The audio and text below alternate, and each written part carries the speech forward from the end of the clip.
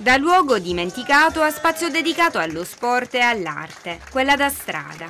Si inaugura così la pista di pattinaggio di via Rochester, risorgendo dalle sue ceneri. E tutto questo grazie al lavoro di squadra di Alessandro Ciulla, Silvia Macaluso, Federica Ciulla, Francesco Macaluso e Mirko Pinto, della Street Factory Eclettica, vincitori del concorso regionale di idee Boom Polmoni Urbani.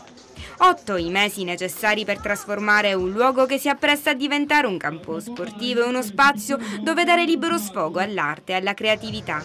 Un grande passo in avanti che altro non è che la realizzazione soltanto di una parte del progetto, e cioè la prima tranche delle tre da 40.000 euro finanziata dagli stipendi dei parlamentari del Movimento 5 Stelle.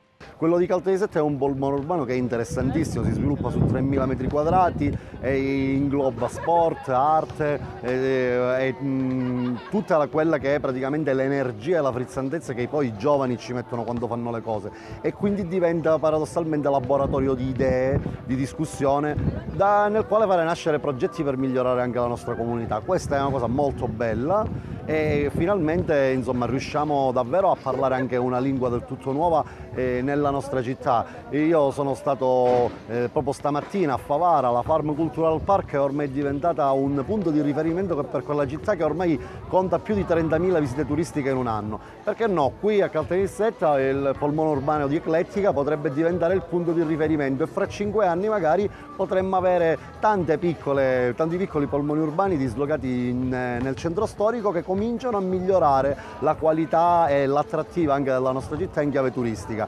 Nasce tutto a volte da idee di qualcuno che qualcun altro definisce folli e qualcun altro definisce geni. Secondo me sono delle ottime persone, abbiamo dato in mano i nostri soldi alle persone giuste io sono molto contento.